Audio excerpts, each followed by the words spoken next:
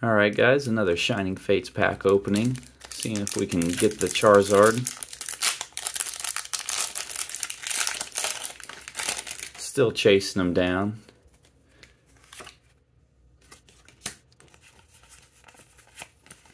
Alright, let's see what we got tonight.